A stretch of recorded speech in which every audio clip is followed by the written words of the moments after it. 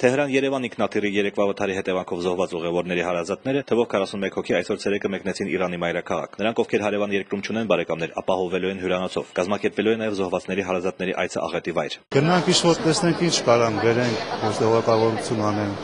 Տեսնենք էլի, չգիտեմ, մենք էլ չգիտեմ, ոչ բան խոս չեն տալիս։ ՀՅԴ Գերագույն մարմնի ներկայացուցիչ Արմեն Ռուստամյանը այսօր լրագրողների հետ հանդիպման ժամանակ բացատրեց, թե ինչու է իր կուսակցությունը Ղարաբաղյան կարգավորման ոչ բարենպաստ զարգացումների պատճառով պահանջում արտգոսնախարարի եւ ոչ թե նախագահի հրաժարականը։ Շատ հաճախ հենց անմիջական պատասխանատուների հրաժարականից է սկսում